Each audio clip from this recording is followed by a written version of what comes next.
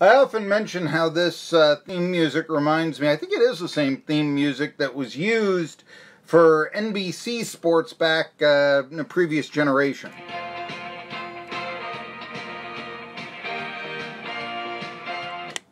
So it's sort of like, you know, we're about ready to hear, I don't know, uh, Dick Enberg and Merlin Olsen or something like that, you know. Anyhow, uh, I wanted to uh, discuss this. I'm Marky Billson, by the way, Tri City Sports Now. And, uh, oh, before we get into Tom Brady signing his extension, which I want to get into, uh, and I guess they're going to make the official announcement today. Let me see if I. Well, this is going to be riveting radio. Let me see if it's up on the wire now. If we've got the sound for. Yeah, that's really. listening to a man search the internet. Boy, is that just riveting radio and all that. There is, though, one uh, bit of news, and I, I think that uh, those who. Uh, those are pretty much aware of it, but Jerry wanted to send his congratulations out to John Force, who won his 150th NHRA race in the funny cars, and there'd been this talk about when was this going to happen? Could it happen in Bristol uh, about a month ago? Well, it finally has. So, although Jerry will not be with us next week, or excuse me, he will be with us next week. He won't be with us. Uh, he'll be with us for Bristol, but he won't be with us on Friday at 1 p.m. So uh, to talk about the race in Michigan. All right. So that's the way it goes there. Tom Brady is to sign a two-year, $70 million extension of the New England Patriots. Uh, you know what he said? He's wanted to play until he's 45 years old. He's willing even to put his foot down for Gisele Bündchen, who says, Boy, did I want you to retire after your fifth Super Bowl. No, honey, I'm having so much fun. I'll win another Super Bowl and another and another, and I'll have more Super Bowls than anybody. I'll be the Bill Russell of the NFL. Hmm, Russell played in Boston too. Maybe that's a motivation that no one has thought of. Possibility.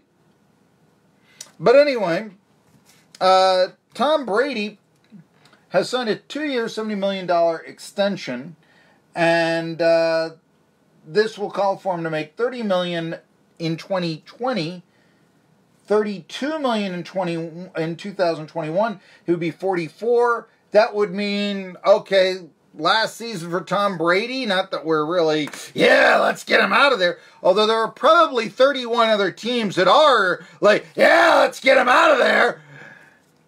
It'll be 2022. All right.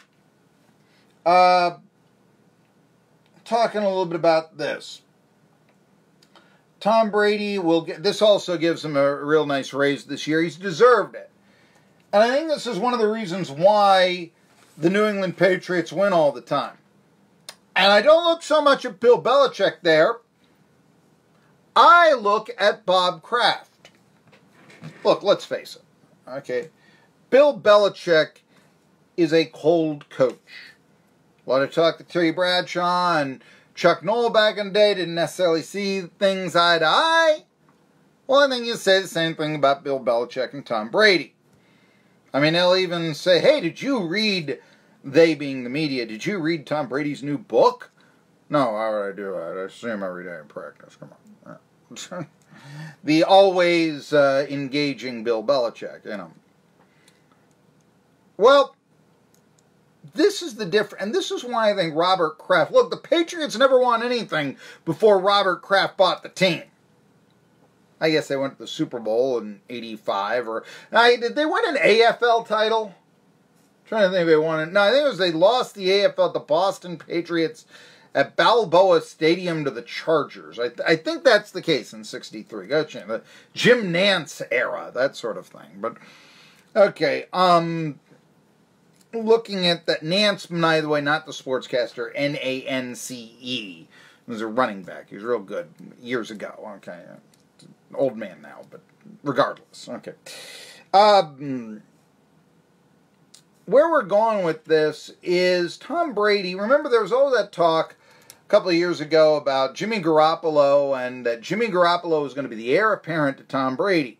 He went 3 0 in his steed after Deflategate. Remember that? And. Okay. Then what happened? Garoppolo's dealt to the 49ers. And Belichick supposedly very upset about this because, after all, he didn't want old quarterback banner. He already done that with Bernie Kosar. Well, if you're old enough to remember, and if you're not, I'll tell you, let me tell you what happened when, after signing a big extension as a contract, Bill Belichick, and pretty much Bill Belichick alone, decided to cut Bernie Kosar and go with Vinny Testaverde as his quarterback. Well, all that meant was that everyone in Cleveland, Ohio hated Bill Belichick, and you've never heard a more, had a more unpopular coach than what Bill Belichick was in Cleveland. I've mentioned this many, many a time. And it, a lot of it stems from that cutting of the hometown hero, Bernie Kosar, who every Browns fan thought had a lot of football left in him. Whether he did or not, debatable, but every Browns fan certainly did. I can remember he was pulled from a game for Vinny Testaverde, down two touchdowns. Testaverde led the Browns back in 93 to a victory. I can remember watching that with some Browns fans. They went nuts, but they didn't want to get let go. Bernie Kosar, just one bad game, right? Well, Belichick became the villain after he cut Bernie Kosar. I think that Belichick was thinking somewhat the same with Brady. Now, as I said before, I mean, Testaverde, Browns basically won with Testaverde. They went to the playoffs next year. They won 11 and 5. Lost the Steelers in the playoffs, but still, okay. Testaverde had a revival of his career. The circumstance, however, is that I do think that Belichick, you know, thinking, okay, younger man, no sentiment with Bill Belichick, and he was looking to groom Garoppolo to take Brady away, and Kraft made the deal and traded him to San Francisco, Garoppolo, I should say, instead. And supposedly Belichick was upset about this. Now, I'm going to tell you why the Patriots made the right move.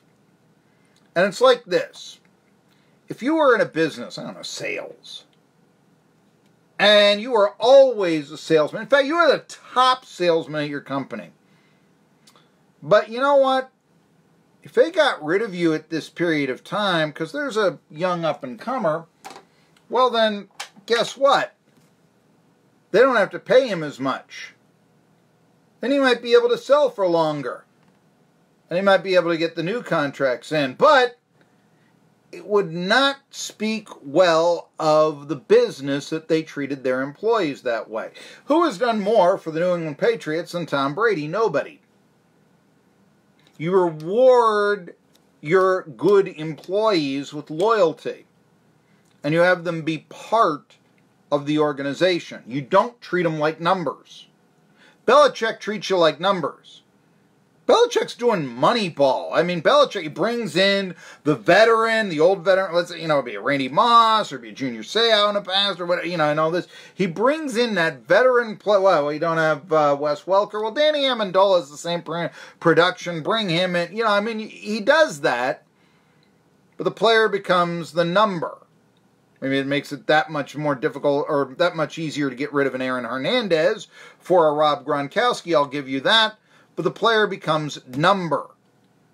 Rob Kraft is making sure that Tom Brady is not a number. Say what you will about Kraft after the, uh, you know, the health spa incident or whatever, but he's taking care of his employees. That's good owner.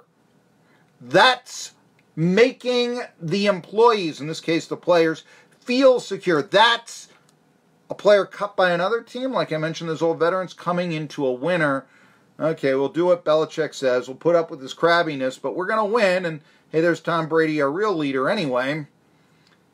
That's why the Patriots win. They're loyal to their employees. At least Rob Kraft is. Yeah. It's Kraft and Brady more than Belichick. Believe me on that. It's SoCon John Hooper talking about the Southern Conference coming up next. Theater is a world-renowned destination.